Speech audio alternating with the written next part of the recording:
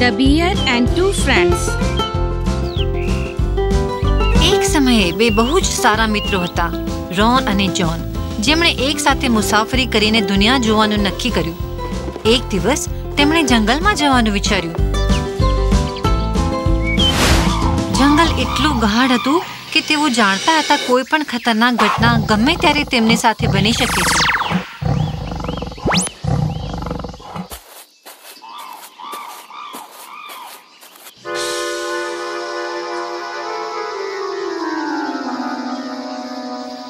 તેથી તેમણે એકબીજાને વચન આપ્યું કે આફતની ઘડીમાં તેઓ એકબીજાનો સાથ નહીં છોડે અચાનક તેમને એક ગર્જના સંભળાઈ અને તેમણે જોયું કે એક ભયાનક રીંછ તેમના તરફ આવી રહ્યો હતો તેઓ બહુ જ ડરી ગયા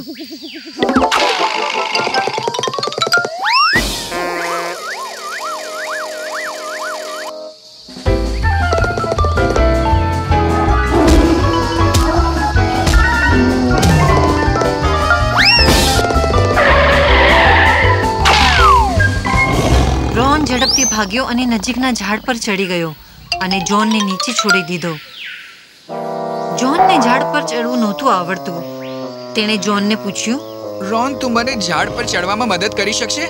આ રીચ મને ખાઈ જશે. મદદ કર દોસ્ત, પ્લીઝ. હું હવે નીચે નહીં આવી શકું. રીચ નજીક આવી રહ્યો છે અને અહીંયા ઉપર જગ્યા પણ નથી. જા તારા માટે છુપાવાની જગ્યા શોધી લે.